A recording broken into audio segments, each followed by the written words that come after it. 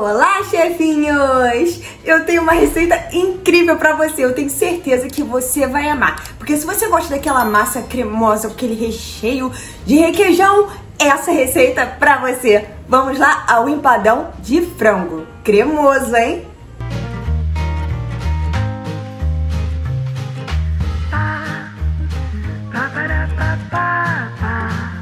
Olá, chefinhos! Em uma frigideira com uma pitadinha de azeite, coloque uma cebola picada. Dê uma leve fritadinha nela e, após isso, coloque um tomate picado sem a semente e volte a misturar. Acrescente também uma colher de sopa de cheiro verde picado. Irei acrescentar aqui um tempero de cebola, alho e salsa. Acrescente também duas colheres de sopa de molho de tomate. Dê uma leve mexidinha e depois acrescente 650 gramas de peito de frango, já cozido e desfiado. Vou deixar aqui nos cards como eu fiz isso. E volta a mexer, minha gente.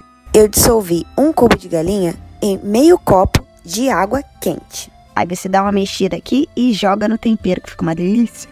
Volta a mexer, porque dessa forma não vai ficar um recheio seco é só acrescentar dois copos de requeijão cremoso ou catupiry e volte a misturar novamente. Depois de bem misturado, é só acrescentar uma latinha de milho, tá?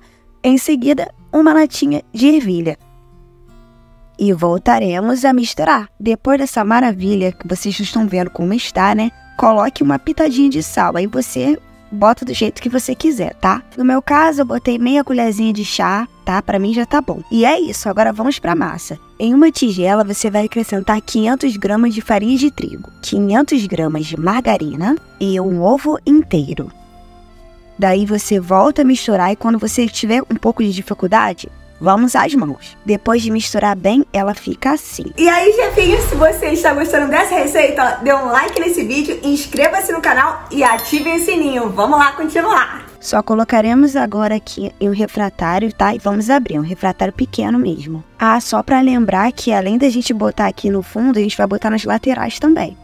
Prontinho, agora é só colocar o recheio. Aí vocês botam. Ai, enche tudo isso de recheio. Que delícia, gente, que delícia. Agora só o restante, né, da massa que ficou, a gente vai colocar por cima. Vocês amassem assim com a mão, ou se vocês quiserem abrir com rolo, é de vocês, tá? Só tem que lembrar que quando vocês forem colocando, vocês tipo grudem, tá? a massa do lado que fica assim na lateral, a gente vai pincelar uma gema de ovo e agora é só levar ao forno por aproximadamente 40 minutinhos ou até você ver que tá douradinho. E depois fica essa maravilha. Ai meu Deus, eu quero degustar.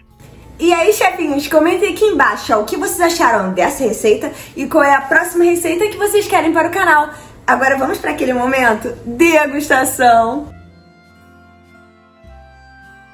Aquele momento de degustação que todo mundo adora. Eu então.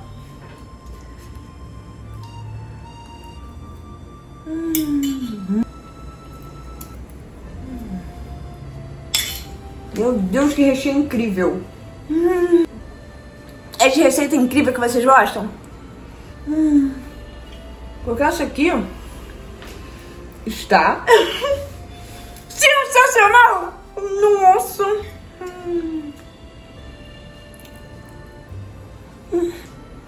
Que coisa gostosa. Não sei se eu tô suja. Mas faço na casa de vocês. Beijinhos e até semana que vem. Gente, é muito cremoso.